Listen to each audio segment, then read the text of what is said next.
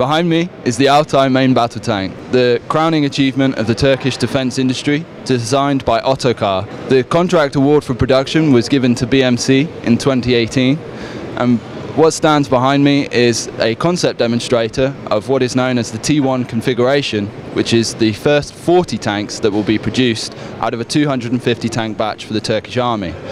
I'm standing underneath the 120mm smoothbore gun and Fitted to the sides of the vehicle, there is a applique protection system provided by Roketsan.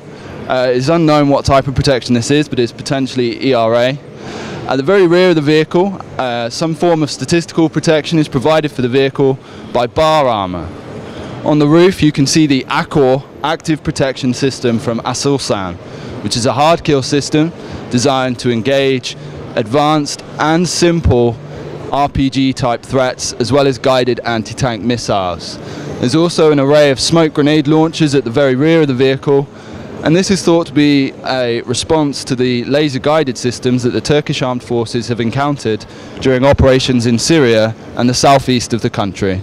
As yet the production standard of this vehicle is unclear and it has not been clarified in the course of this exhibition.